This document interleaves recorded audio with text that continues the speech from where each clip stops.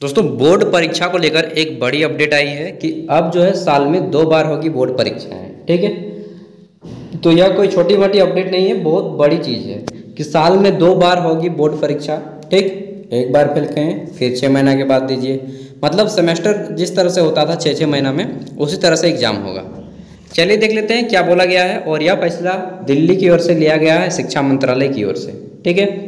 देखिए, नई दिल्ली, प्रेट शिक्षा मंत्रालय ने स्कूली शिक्षा का नया राष्ट्रीय पाठ्यक्रम ढांचा तैयार कर लिया है। ठीक है? इसके तहत बोर्ड परीक्षाएँ अब साल में दो बार होंगी। छात्र छात्राओं को सर्वश्रेष्ठ अंक चुनने का विकल्प दिया जाएगा। इसके साथ ही कक्षा ग्यारहवीं और बारहवीं के जो छात्र छात्राएँ हैं, ठीक है, इनको दो भाषाओं का अध्ययन करना होगा।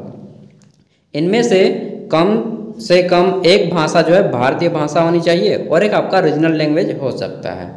ठीक? अगला है कि मंत्रालय के अधिकारी लोग ने बताया ऑफिसर लोग ने, कि राष्ट्रीय शिक्षा की नीति, यानी कि एन न्यू एजुकेशन पॉलिसी के अनुसार नया पाठ्यक्रम ढांचा तैयार है। इसके आधार पर 2024 2024 शैक्षणिक सत्र, ठीक है? शैक्षणिक सत्र के लिए पाठ्य पुस्तकें तैयार की जाएँगी। फिर बोला गया है कि इस समय बोर्ड परीक्षा में छात्रों का काफ़ी कुछ दांव पर लगा होता है। ठीक है, बोर्ड परीक्षाओं के लिए छात्रों को महीनों तक कोचिंग की फ़ीस देनी पड़ती है, लेकिन अब क्या होगा?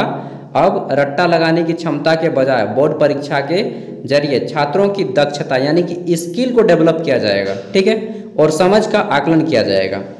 पाठ्यक्रम ढांचे के अनुसार छात्रों को अच्छा प्रदर्शन करने के लिए पर्याप्त समय मिलेगा, ठीक है? और अवसर मिलेंगे अपॉर्चुनिटीज़ मिलेंगे।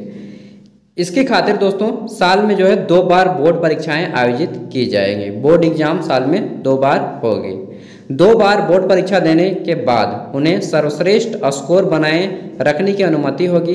कक्षा ग्यारहवीं और बारहवीं के विषयों का चयन कला, विज्ञान और आपका वाणिज्य मतलब कि arts commerce and science stream तक सीमित नहीं रहेगा, बल्कि इसमें लचीलापन लाया जाएगा और छात्र छात्राओं को अपनी पसंद का विषय चुनने की आज़ादी मिलेगी। ठीक है? नए पाठ्यक्रम के अनुसार जो है, स्कूल, बोर्ड उचित समय से मांग के अनुसार परीक्षा की पेशकश करने की क्षमता विकसित करेंगे। ठीक है? फिर बोला गया है कि कक्षा में पढ़ाई के दौरान पाठ्यपुस्तकों को कवर करने की मौजूदा प्रथा से बचा जाएगा। और एनसीएफ में कहा गया है कि यह सुनिश्चित करने के लिए कि छात्रों को अच्छा प्रदर्शन करने के लिए पर्याप्त समय भी दिया जाएगा। ठीक है? और अपॉर्चुनिटीज़ भी दिए जाएँगे। अवसर मिलेंगे। बोर्ड परीक्षाएँ साल में कम से कम दो बार आयोजित की जानी है। इसके बाद छात्र या छात्रा उन विषय की बोर्ड परीक्षा में शामिल हो सकेंगे। इस प्रक्रिया को एक व्यापक टेस्ट बैंक के माध्यम से जो है संभव बनाया जा सकता है।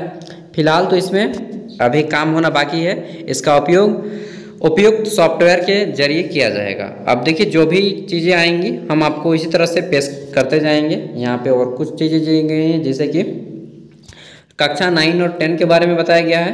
कि कक्षा नौ और दस के छात्रों को तीन भाषाएँ पढ़नी होंगी। पहले दो भाषाएँ पढ़ने थे, अब तीन भाषाओं का अध्ययन करना होगा। ठीक है? जिसमें से दो को भारतीय भाषा होगा और एक आपका रीजनल लैंग्वेज होगा। तो इस तरह से अब आपका फ्रेमवर्क होगा, पढ़ाई की नज़रिया बदलेगा। ठीक है?